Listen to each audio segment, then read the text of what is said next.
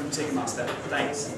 Cool. Thank you very much. Um, thought it was a great talk earlier on, actually, and there's a lot of parallels, I think, between some of the stuff I'm going to talk about and actually where our businesses are as well. Um, but I'm going to give you a slightly different view of our journey from the Ticketmaster side of the world. I've been with Ticketmaster for about 13 years. Um, actually, I came from a company that was called Clear Channel that span out Live Nation, entertainment part, which about six years ago merged with Ticketmaster to become Live Nation Entertainment. Live Nation Entertainment is a global company, uh, American company on the NASDAQ. Currently, I think we're in about just over 40 countries. Uh, Live Nation and Ticketmaster, there's overlaps between some of them, but Live Nation will be in some countries where Ticketmaster's not and vice versa. Um, very much a growing company. Uh, Live Nation, for example, uh, we added, I think, six markets this year, and next year we're going to add another 10 markets. So, very much a growing company. Um, Ticketmaster, currently about half of those countries, uh, again growing. I think we just went into another couple of countries this year, so already this slide is out of date. Um, very much with trying to be agile, DevOps and going fast. Companies going fast, I keep the slides up to date. Um, and about half of those countries Ticketmaster we're actually the number one leader uh, for selling tickets. So you probably know Ticketmaster very much. We sell tickets to live events. Um, but we don't actually own the tickets. We are just, uh, uh, I guess, a retailer for the tickets. Live Nation, the other part of the business, they're the ones who work with the artists, they're the ones who promote the events, put the events on, they own the tickets. They're our biggest partner, our biggest client, uh, but we also sell tickets for lots of other clients. Uh, and in some countries where Live Nation doesn't exist, we sell them for other people, for example.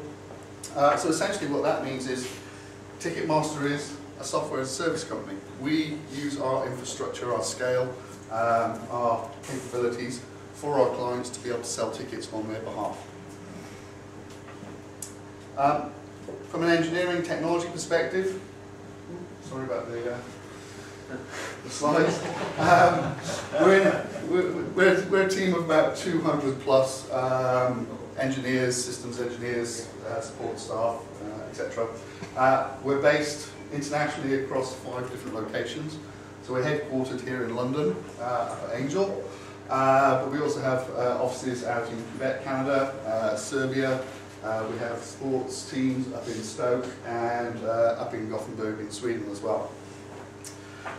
For us, that's quite a challenge. So about two years ago, maybe a little bit more, we started our DevOps journey. and, and prior to that, we'd been kind of agile with Agile, Scrum, but Waterfall, whatever you want to call it, but we're in that world.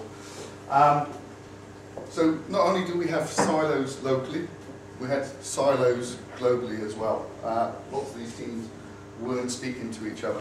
Um, so part of our DevOps strategy was really trying to bring us all together, bring us closer together, uh, get us all to speak the same common language. We all speak English, but we all understand some things in different ways. So if you think about what's a, I guess, a successful um, delivery to production versus an unsuccessful, one team might have one opinion of what that might be, another team might have another opinion depending on their context and depending on what goes on with them. Um, what continuous integration should or shouldn't be, continuous delivery, what that should and shouldn't be.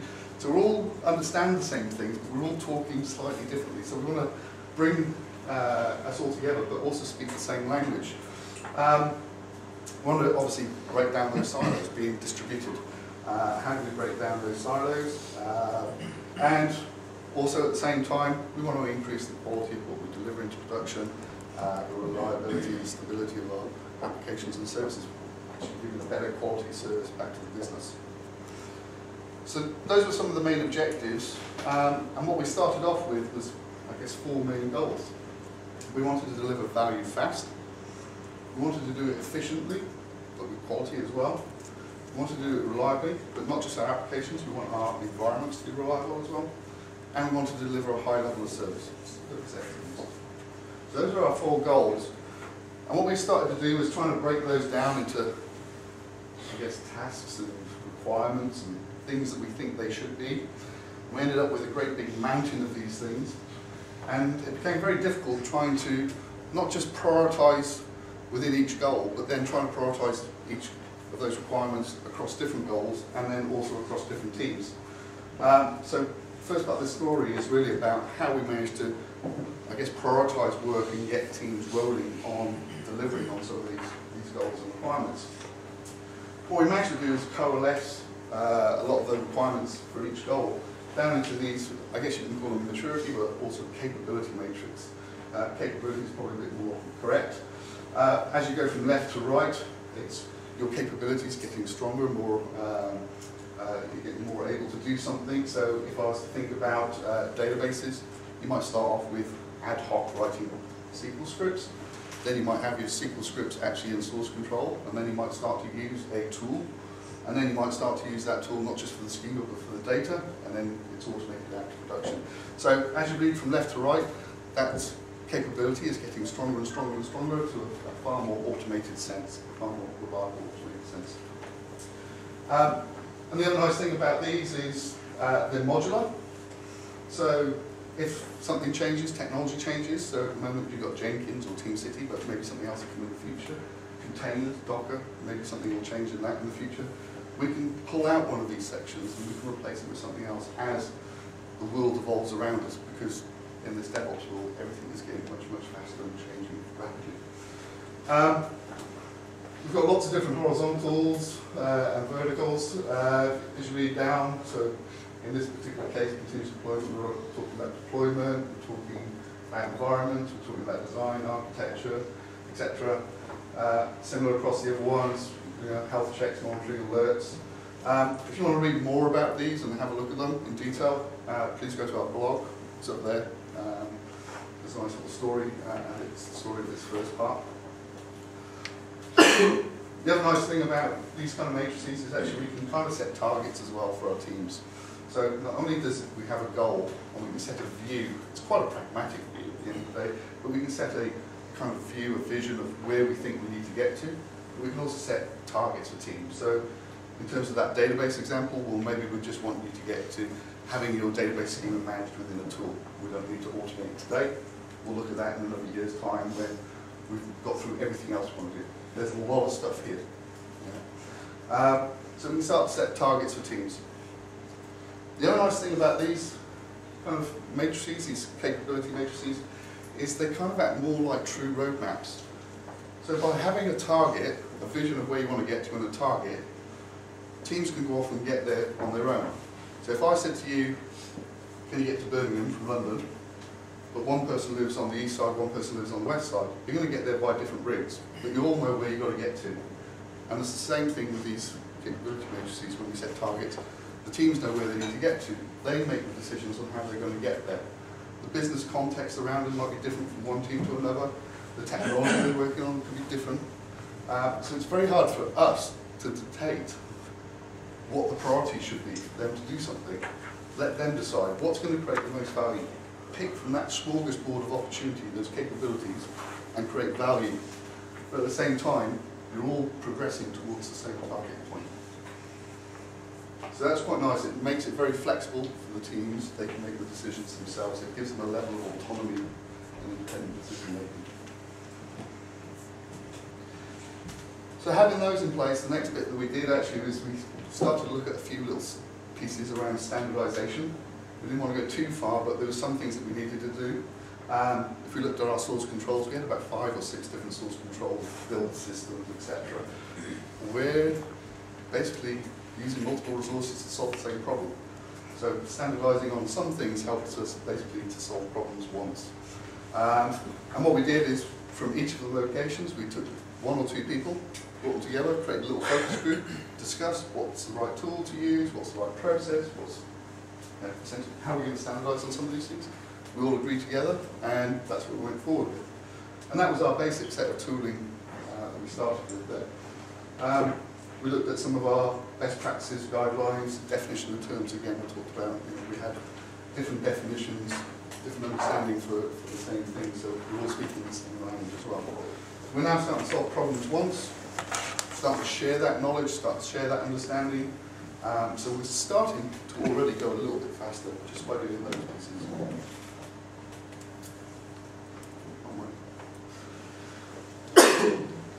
So off teams went, which was great, and we didn't have a clue where they were and what they were doing, but we felt we needed to do something, so we created our own little tool to visualize where they were, uh, and it's basically, you know, ask them, have you done this, where are you on the capability matrix, and, and basically score them into a simple tool, so we can have a look at where we are in the overall program, the overall uh, delivery, getting to certain goals. Um, the rate at which teams are going, again, is really particular to each team. There's no one team going faster than the other at the end of the day. You could have a team of 20 developers versus a team of two on a different project and product. Um, the team of two may be going faster because they're on a greenfield rather than a team of 20 who's on a legacy system. So speed is not really the issue it's more about having visibility of the overall program and where we're getting to. And also where we can see, ah, right, well you're up here and you're doing this capability, maybe you should start sharing that information with these teams over here who haven't got there yet. So now we know where people have got to and we can get them to start sharing knowledge across the other teams. So all the learnings and the problems they solve, they can share across to the other teams. So it's very much about sharing and, and, and nurturing that information across the business. So we're not failing multiple times, we fail once, and we're trying to learn some problems, and then everybody gains from that information. So that's great, we've got overview of the program, where people are, people are moving, we've got some flexibility in the system. Um, but at the end of the day, what's it all mean? Doesn't really mean much unless we're really creating value for the business. And so, oh, it again. Um, so we need to close that gap with business and actually do some kind of reporting back to them. Um, and we started off with some very simple reporting. What's the stuff that we can measure? What's the stuff that we can get data for and report back to the business?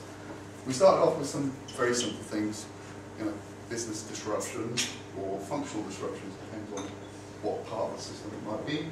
Critical bugs, what's coming out of development and hitting production, how much rework we're doing. Um, manual regression in some instances, depends on what team and how old the project is, how much manual regression is happening. And just tracking that over time and trying to find you know, uh, where the improvements are. So we can actually show that the program is working. Um, trying to convert that back really into, I guess, business speak. So if we're doing rework, critical bugs in production, I know, say, let's say it's five hours to fix a bug overall by the time you've done the found it, done the research, you fixed it, and you got it out to production. Now I know we're doing X amount of those over a year, similar with business disruptions and manual uh, regression. I can start to turn that back into man hours of effort. And I can now start to say how much man hours we're actually saving and improving a year. And turn that back to the business and say, well now we're saving this time, we're actually able to do more features and more, uh, more work. So we're now starting to talk to the business back on a common level that they understand. They understand dollars and man hours, uh, full-time equivalents, uh, and engineers understand the detail. So that helps us to close the gap there. I've done it again. By the end of this talk, I'll learn. it's okay. Um, so, just from that first part, what did we learn? Um, standardizing on our tooling was starting to change the way we did things. Okay, um, and as we started to change the way we did things, we start to, I guess, believe in what we're doing. Um, the good reporting that we did changes how we communicate back to the business. Um, and that good communication to the business, they also believe in what we're doing as well. Okay, and at the end of the day then, it's starting to help us change our culture, both inside engineering and technology, but also outside with the executives in the business as well. That's really important. It's not just about engineering, it's about the business being on the journey with you as well.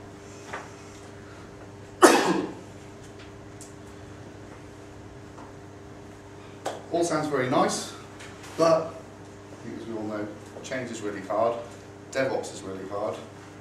DevOps is not really just about automating stuff. It's really about business transformation as well.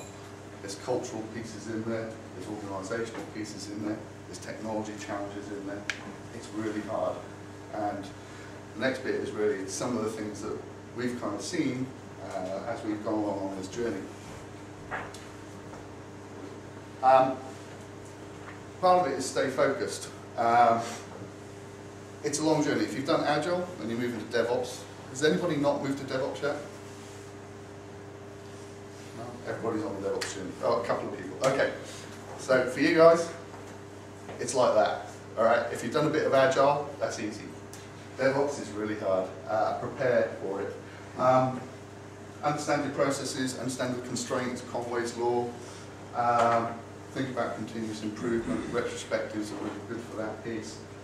Think about the seven ways of software development. Automate as much as possible where you can. Focus on small goals, which really fits in with that. So if your code coverage, for example, was, I don't know, say 10% on something, if it's an old system, don't think about turning that to 80%, which is what your organisational target might be for everything. Think about 10.5%. Small goals, incremental, build on that constantly. Uh, and get your teams to think about that as well. Baking in small little wins. Uh, every time you win, every time you learn something, share it. So everybody else learns and wins as well at the same time. And celebrate these wins, because these are great things, right, at the end of the day. Um, we're always focused on the delivery and the value. At the end of the day, it's value. We're all here. We're not here to write code. We're not here to deliver a feature. We're here to deliver business impacts. We're here to deliver value at the end of the day. So be focused on really on this bit, but really prepare for that journey at the end. Um, measures of success. I mean, at the end of the day, this is one of the ways in which you can communicate and also whether you, from an engineering point of view, a technology point of view, whether actually you'll succeed in or not. Um, so what we did was start really on the data we could collect quite easily. We packaged that up into PowerPoint, PDF reports, send that out by email. And as most of you probably know, nobody ever reads email. So it had great value to start with, but the lifespan of that kind of reporting is very limited. Um, so you very rapidly want to move on to that. Automate and make it and turn it into dashboards. Get it visible, get it in front of everybody, get it in their faces. Get it in the faces of your execs, get it in the faces of your developers and engineering teams. Um, once you start to do some of this, you're going to want to start standardizing on your, your processes and terminology because you want to be measuring apples and apples, not apples and oranges. So if people record bugs in one particular way and they record bugs in a different way over in this system, how do you know you're measuring the same thing? So you've got to start uh, standardizing on some of those things. And eventually, going to run out of things that you can do easily. So now you've got to start thinking about things that you don't have and start working out how you're going to measure them as well. Um, so this is what we did, was measure on the savings to start with, but now we're moving into measuring the speed, measuring value, and showing that business impact impact the business. Um,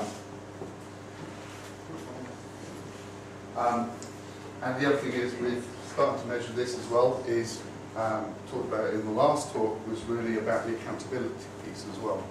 And at the end of the day, you're accountable for doing this. So without having the right data, without being able to show that data, without being able to report and dashboard it, you don't know if you're really producing that. So you need to have data available to be able to be accountable. Um, platform maturity. So Ticketmaster's a 40-year-old country, um, and some of our technology is 40 years old as well. That doesn't mean to say you can't do DevOps with 40-year-old technology. You can. Um, but at some point, it becomes quite restrictive uh, and you want to mature your platforms. Um, and some of those things that you need to do is look at technical debt. Even with Greenfield projects, Greenfield projects will go uh, and gain technical debt very quickly. Every time you add a line of code, essentially you're adding technical debt to the system. Uh, so you want to be measuring and looking at your technical debt and paying it back in some form. Um, deployment, uh, trying to deploy a monolith, you can do it. It's painful. So you want to be architecting for your deployment as well. Um, so uh, that really fits in with your technical debt as well. We'll show you the model uh, that we use in SEC. Uh, so look at your architecture, look at your, your system, and how you're trying to support that. That really fits down. The next bit is really about the design, trying to make it modular, sharing services. So one team over here, so one of our teams maybe in Quebec, this is one of our teams in London, why they're writing the same service twice, let's just write it once and again, we get more efficiencies that way. Uh, testing, as you want to go faster, testing becomes critical to all this. So continuous testing, not just right at the beginning where you're doing the unit testing, functional integration testing, etc., performance testing, all the way out to production, installation testing. Uh, even when you're in production, continuously testing there as well. Some of those tests that you may be using for integration testing, you may be able to continuously run them on your production system as well. And have constant monitoring, constant, constant dashboards. Um, and again, also as you're trying to go faster, instrument new code bases. Instrument the hell out of them as much as you can at the end of the day. Um, if something goes wrong, and we know things will go wrong, we can't help that, even as good as your continuous testing might be. Uh, make sure you've got your code bases instrumented so you can get to root cause analysis as fast as possible. You can solve the problem, you can get it out of production if you've got the automated deployment in place. So actually your mean time to detect, your mean time to repair is massively shrinked. So the impact to the business, very, very small because you've isolated the problem very quickly and you manage to repair it very quickly as well.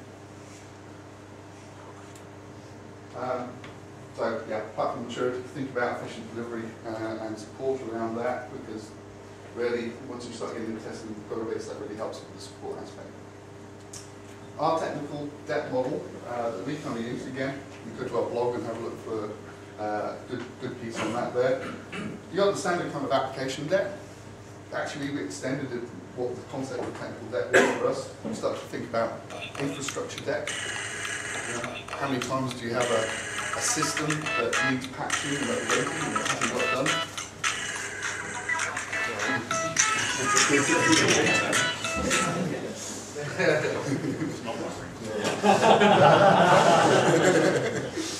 so yeah, so think about your infrastructure, think about what debt might exist out there as well, but also the architecture debt. So I want to talk about re-architecting for deployment, etc. Thinking about the future, what's your transition state, where do you want to get that system into the future? So think about those three things. And finally, it's not all about technology. It's very much about the organisation as well. You start off thinking it's about technology, but very rapidly you start thinking about teams, organisation. Is it one pizza team or two pizza teams, etc. Is it cross-functional, is it not it co-located, is not co-located? Uh, communication is really the key piece about co-location. Uh, and for me, I think co-locating as much as possible, but depending on your organisation, that might not be possible. That might take time to rearrange the chess pieces, as it were, uh, to be able to get to that point. Um, but ultimately, you want a team that's going to be planned together, a cross-functional team that's going to be planned together. Engineers are very good at thinking about the code, systems people are very good at thinking about stability and sustainability. Bring them together, you've got two halves of the same coin. You're using systems thinking to start thinking about the problem and actually making long-term sustainable uh, solutions. Um, shared projects, at the end of the day, DevOps is dev and ops. There's no point having dev doing something and ops doing something, that's not DevOps, even if going to hand over to each other later on.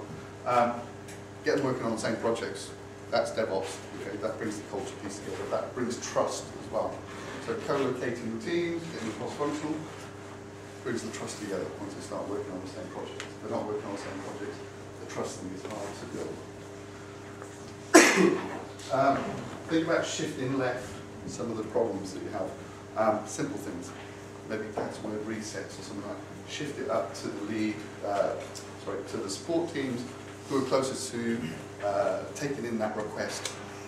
Okay, um, that will massively reduce your lead time. Um, same with co-locating actually as well, uh, massively reduces your lead time. Um, and also it can reduce your costs as well. Uh, platform teams, so it's great, we've got these cross-functional delivery teams, they're working on features and products and they're getting them out the door. Um, but you might want to think about maybe a platforming team as well, which is underpinning everybody. So they're creating the runways, the platform the, the product teams can actually uh, deliver off.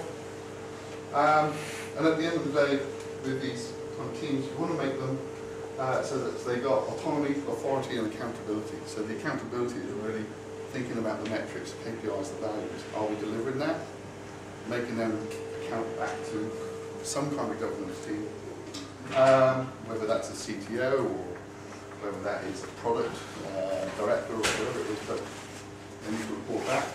But give them the vision, give them um, the ideas of where they need to get to, and then allow them to get there on their own. Let them solve the problems, don't tell them what the problems are.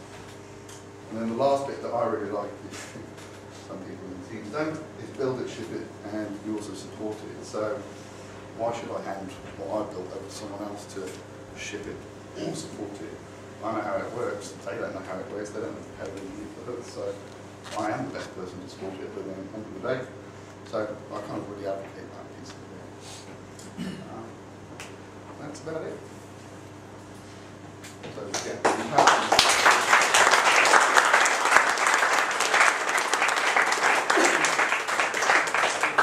Excellent questions for Steve. Yeah, I've got one question. Talk there about how you communicate, so no one reads your emails, or not your email. So how do you communicate as a team? What, what devices, what, what Um, I mean, lots, I mean, yeah, a bit, I guess, um, we do, we obviously do read emails, but, um, more modern tools now, I mean, Skype came in and now it's being replaced with Slack and, uh, we use Zoom a lot within, uh, Ticketmaster, uh, is for video conferencing. Uh, we do tech talks, um, so we try, sorry. tech talks, so we get the teams, every time they, they have an advancement of some description, we try to get them to do a 10, 20, 30, 40 minute presentation on what they've managed to achieve. We share that around. Um, it's also great for onboarding new staff as well, so they get to see what's happened in the past. So a number of different tools really, but a lot of stuff happens these days through Slack and Zoom. And and just, sorry, if you don't mind, just to follow on with that, I mean, obviously Slack is very current. Yep. and Zoom very much current as well. But before that, if, you know, sort of two, three years ago, you would would have been using two, three years ago is all email, but, uh, and, and Skype as well. Okay. Yeah. Just from my experience, the, uh, from this online ticketing uh, kind of business space, um, you know, well, I worked in a similar uh, company. So one problem I found is that ma- major challenges, constantly changing requirements, and also uh, constantly changing priorities. I'm not, I- I'm not sure that's a particular problem with my past, you know, uh, employee. I'm not sure, at the, perhaps, I'm assuming you are facing similar issues, right? And how, I bet you every com- company Yeah. does, right? how are you Um, that? Exactly. It's, it's the ambition of the company Yeah, versus the capacity that we have and the need to modernise and, and, things like that.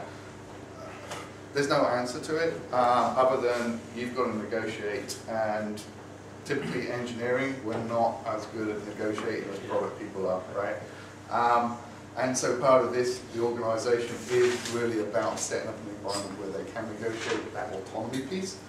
Um, but that takes effort to get there, so it's a business transformation as well. Um, Agile and Scrum don't solve this problem.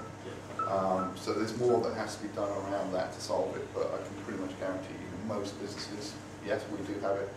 but just like in this space, I've never seen this. I worked in other areas, it's, it's worse, to be honest. I was just thinking, you know, from your experience, do you think DevOps, I mean, I'm not sure where you are at in terms of cultural transformations, but, you know, do you think it actually helped to deal with this kind of situation?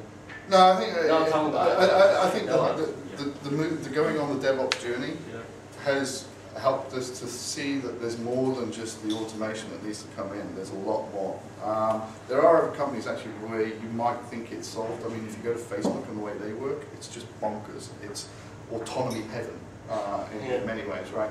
Um, but yeah, you, it's not just the engineering team who have to go on this journey. You've now got external teams, whether it's your PMO, who normally want to keep things nice and rigid and process driven, um, and actually they need to not be like that. They need to be a bit more flexible and let you evolve, uh, but also at the same time manage risk and resource and cost, etc.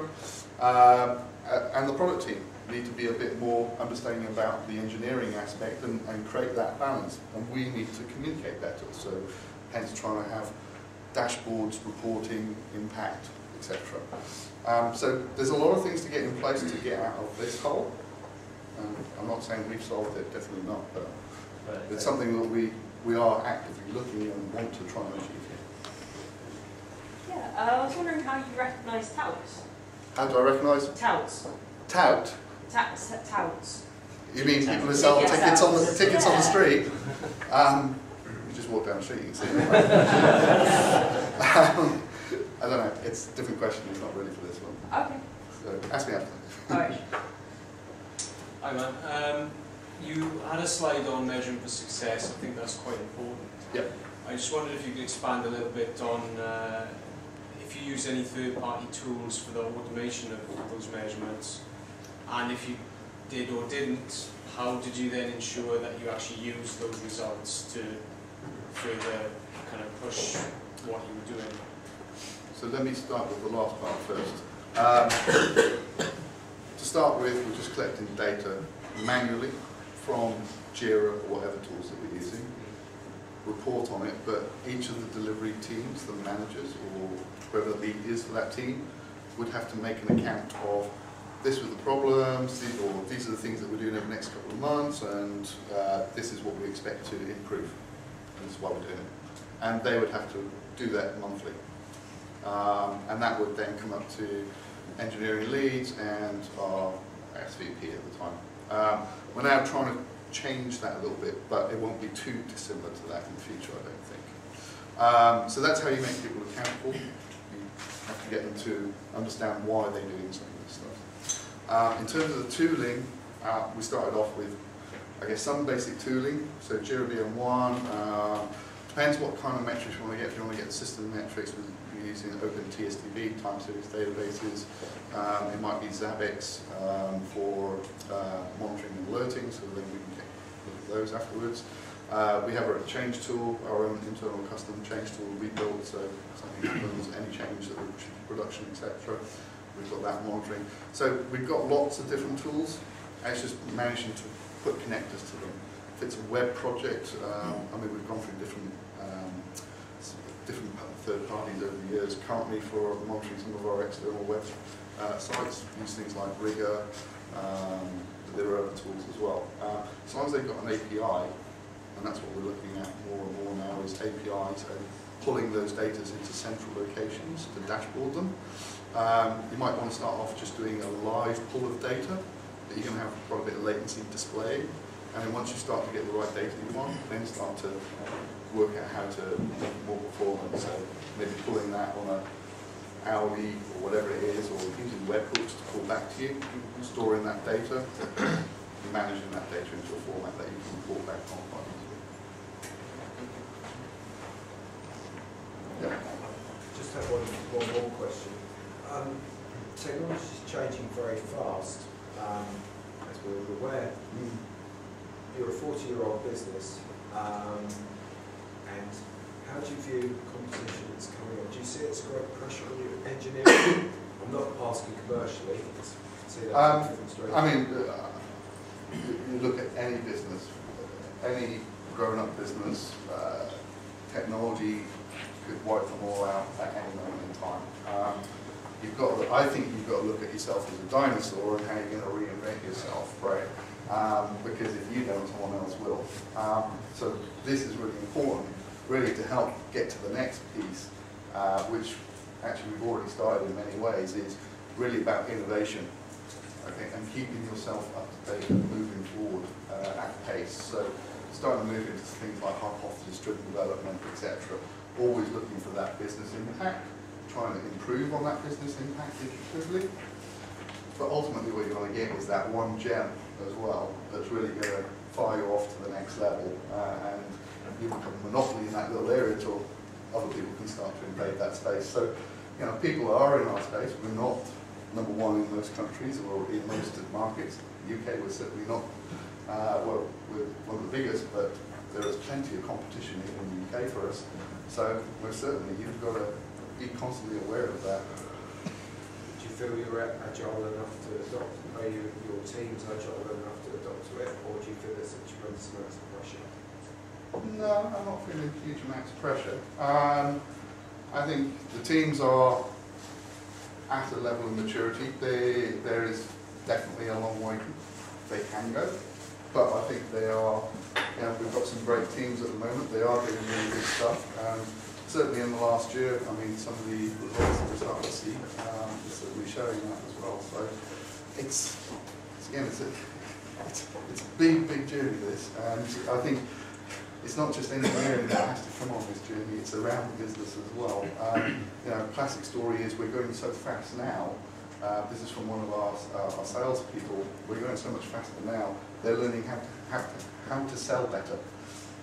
So we've got that much faster that actually it's pushing out to the extremity parts of the business that they're having to improve themselves as well. So that just says that we're doing the right things. Um, but I know that we can do a lot more as well. It's interesting because you're a great brand, but you're agile as well, I would, I would say. Thank you. Any last questions? Any other questions? How does I, how does, how do the agile practices fit into the, your DevOps model? Uh, it's kind of interesting. Um, I mean, kind of hand in glove in a sense. I mean, DevOps is kind of agile. Uh, the technology piece is really just stuff to put on the backlog. So you need to have that negotiation, put it on the backlog. It's all about prioritization. You know, am I going to automate uh, testing? Am I going to put instrumentation in? Am I going to do some deployment piece or whatever, whatever it might be? It's just stuff to do. It just needs to get prioritized and put on the backlog. Um, so it very much fits with agile. It shouldn't be, it shouldn't be competitive. And if anything, actually, what you'll find and what we're trying to, certainly I am and some others are is trying to push for is actually moving from Scrum to Lean. So trying to shrink your lead and your cycle times uh, by going faster, having multiple deployments to production as fast as possible, and then you'll, you'll switch in the type of agile that you're doing. So your agile will change over time. Just a quick one, uh, Yep. just around, um, so how, when you're bringing in a lot of this non-functional stuff around, oh, we've got to put instrumentation into this, we've got to automate this, we've got to make this go faster, um, how do you sell that um, additional expense, which is what it is, into uh, a team that's, into your, say, your product teams, your commercial teams who are saying, we just need a thing and we need it now? There's a, there's, there's a, there's a, there's a conversation to be had there about, well, we can give, we, we could give it to you, but it will be taken over in 20 minutes. So, So I think that's the conversation, right? I mean, you have to make them understand. Uh, look at past experience, look at your, you know, at the end of the day, you're a professional, you should be respected as well. So uh, it's very hard. We do have those questions, we do have those problems. Um, sometimes it's about having standards as well, just saying this is the basic standard that we do and we won't go beyond that. Have that agreement up front with your product team and all agree that. And then it's a negotiation when you're delivering. Okay, we'll deliver this a little bit faster at lower quality, but we're going to take the next sprint and put that quality back in. But it's going to cost you. If we do it now, we'll do it for X amount. But now we're doing it later because we've already put stuff in, it's going to cost more to do that. We're going to add X plus 20%. So you have to have those conversations probably up front Yeah. and agree it, and then you can find that balance and negotiate a bit later. I wouldn't say we're perfect at it, but yeah, that's kind of how you want to try it. Cool. Thank you very much. Thanks very much.